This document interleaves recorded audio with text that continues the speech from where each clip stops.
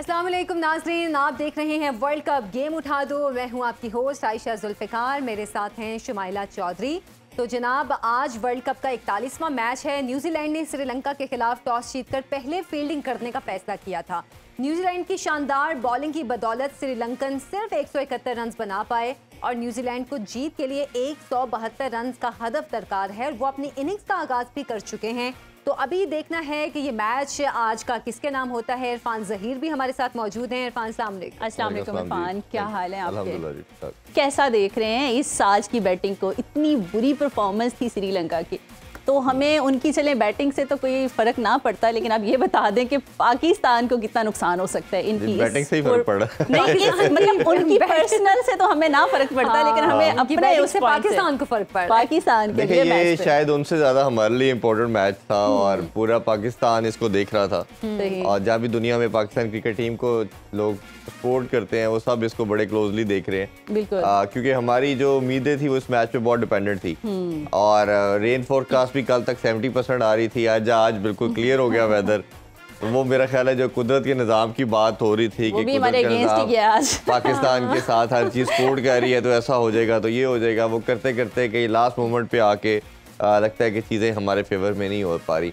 इसीलिए कहा जाता है कि luck favour the favour the braves तो ये आपको आज ये सबूत है कि अगर आप वो जीते हैं और हम सम हाउ अगर बाहर हो जाते हैं हम्म। तो ये आपको नज़र आएगा कि आप जब दूसरों पे डिपेंडेंट होते हैं हम्म, आप अपनी मिस्टेक को हाइड करने की कोशिश करते हैं अपने लूप फोल को दूसरों पे डालते हैं कि शायद वो हमें सरवाइव करेंगे तो हर दफ़ा नहीं होता। Last T twenty World Cup के अंदर भी हमें बड़ी अच्छी खासी डिप आई। वो उससे जीत जाए वो उससे हार जाए वो बारिश हो जाए इसी तरह करते कराते वो नदरलैंड ने साउथ अफ्रीका को एक मेरिकल हुआ वो जीते मैच। हम्म। हमने फिर अपना मैच आगे जीत के तो हम सेमीफाइनल में क्वालिफाई करके बट 92 से ही हमें जब से क्रिकेट देख रहे हैं यही ट्रेडिशन नज़र आ रही है। आ रहे हैं। कभी ऐसे होता है ये दुनिया की शायद किसी और टीम के साथ ऐसा होता भी नहीं है। अच्छा, ये पाकिस्तान के साथ ही है। ये सिर्फ़ पाकिस्तान के साथ ही ऐसे मामला होते हैं और ऐसा लगता है प्लेयर्स को फ़र्क भी नहीं पड़ रहा है इस चीज़ से। कभी कोई बीमार हो रहा है कभी शॉपिंग पे जा रहे हैं कभी खानों के हवाले से आती हैं खबरें कि चटपटे खाने इस इलाके के तो उस इलाके के। ओवरऑल जो मतलब एक इम्प्रेशन जा रहा है ना वो टीम को कोई फ़र्क नहीं पड़ रहा। जो फ़र्क पड़ रहा है वो व्यूअर्स को पड़ रहा है या पाकिस्तानी अवाम को पड़ रहा है। या फिर वो फ़र्क तो उनको भी पड़ेगा। नहीं फ़र्क तो उनको तो बाद में पड़ेगा। ना अभी तो एंजॉय करें उसकी वजह ये कि जैसे हमने आपको याद है जब से वो इंजमामुल हक और पीसीबी के दरमियान हम्म। मामला भी हुआ तो हमने कहा कि आपकी टीम को बहुत डेंट करेगा। अभी आपको नज़र नहीं आ रहा इसके रेप्लीकेशन जो है वो बहुत ज़्यादा आएँगे और आपको ये काफ़ी कॉन्सिक्वेंसेज फेस करने पड़ेंगे। और अब हम देख रहे हैं ना ये चीज़ें जो हो रही हैं उसका कहीं ना कहीं आउटकम अभी आ रहा है आगे और आएगा। अभी आप इससे भी टफ वर्ल्ड कप के बाद ऑस्ट्रेलिया जाना पाकिस्तान ने वो दुनिया की सबसे मुश्किल टेस्ट सीरीज़ कहा जाता है। वो खेलनी है कौन से प्लेयर जाएँगे किसी को कुछ पता नहीं है। बोर्ड को ये अपना नहीं मालूम। वो अपने अपनी फ़िक्र लगी हुई अपने सरवाइव की। अपने तरलों पे है कि वो किसी तरह एक्सटेंशन हाँ। मिल जाए थ्री मंथ की सम हाउ मिल गई अच्छा थ्री मंथ में वो क्या करके दिखाएँगे? हम्म। आपके पास कोई रोड मैप होता है आपके पास कोई विजन होता है उनकी तरफ़ से भी अनफॉर्चुनेटली कोई चीज़ सामने नहीं आ रही। तो ये बड़ा सैड और अनफॉर्चुनेट है कि एक आपकी स्पोर्ट है आप उसके साथ खिलवाड़ करते चले जा रहे हैं।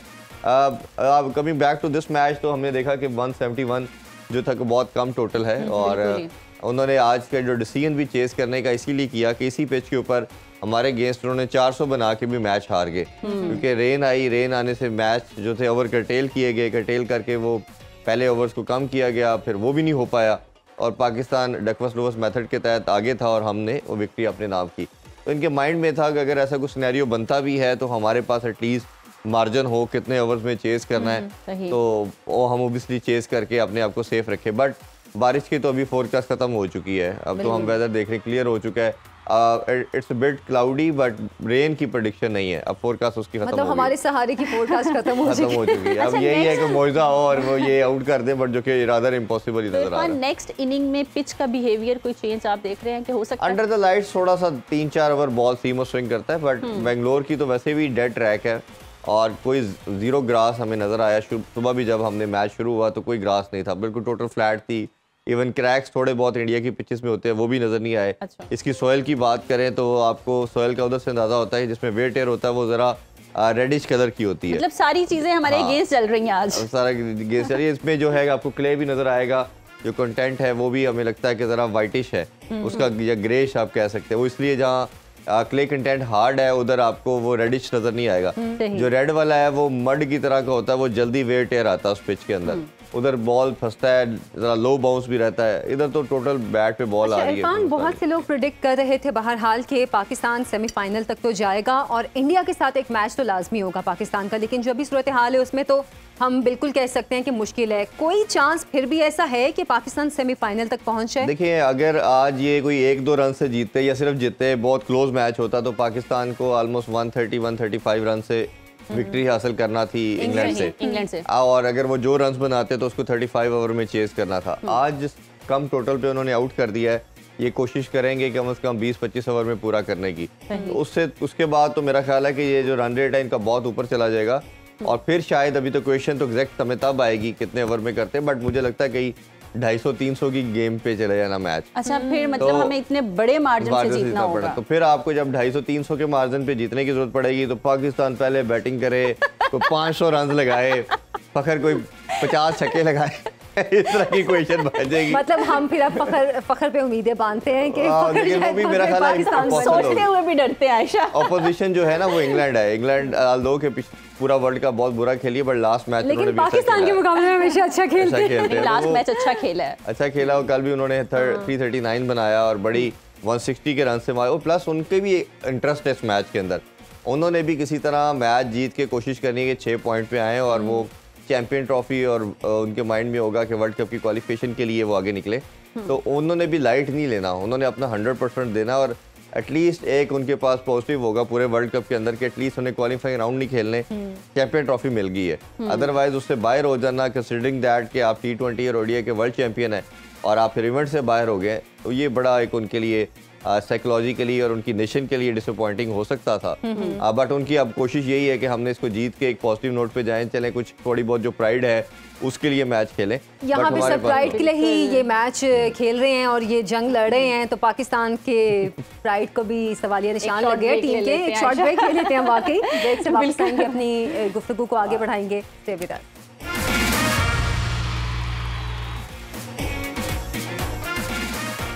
Welcome back. न्यूजीलैंड और श्रीलंका के दरमियान इस वक्त मैच जारी है और जो अभी तक मैच का स्कोर है 32 रन हो चुके हैं न्यूजीलैंड के और कोई आउट नहीं है और पाँच ओवर्स मुकम्मल हो चुके हैं। हम्म। इरफान कैसी रफ्तार देख रहे हैं आप?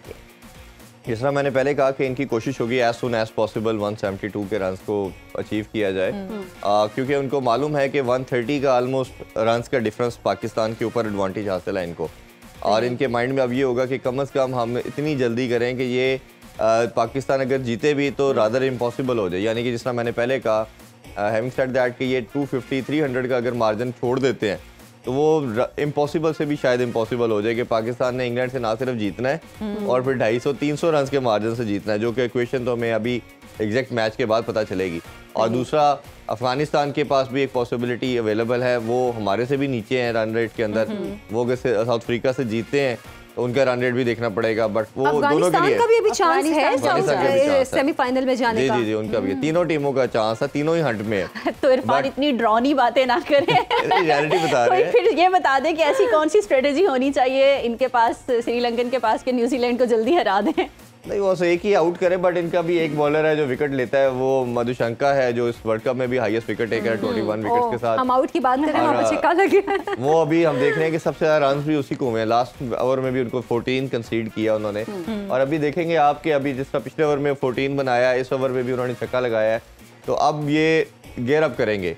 अब इनकी कोशिश मेरे ख्याल में होगी किसी तरह हम बीस पार्टनरशिप बना लें हाँ पार्टनरशिप के अलावा भी अगर पार्टनरशिप नहीं भी लगती तो उनको विकेट्स को रोकना उनका मकसद नहीं होगा उनका हम्म। मकसद होगा कि हमने किसी तरह बीस पच्चीस के ओवर हम्म। के अंदर ये टोटल को चेस हम्म। करना है ताकि हमें रन रेट का इतना बड़ा एडवांटेज मिल जाए कि कोई चांस पाकिस्तान और अफ़गानिस्तान के लिए ना रहे तो वो मेरा ख्याल है अब इम्पॉसिबल सिचुएशन होती जा रही है हमारे पास एक ही लास्ट होप थी बारिश थी वो भी साथ नहीं आया हमारा। अच्छा अभी भी ये लास्ट होप थी तो पानी अभी भी नहीं है। वेदर जो है वो क्लियर टोटल चल रहा है तो कोई चांस नहीं तो कैसी परफॉर्मेंस देखेंगे जो बॉलिंग की थी इनकी?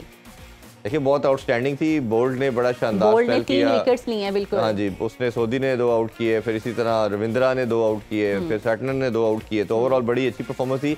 परेरा ने शुरू में हमने देखा कि 22 गेंदों पे 50 की।